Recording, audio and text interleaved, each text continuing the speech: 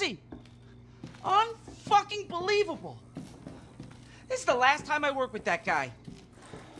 I mean, producers, they come and go, but a, a good cameraman like you, Clancy?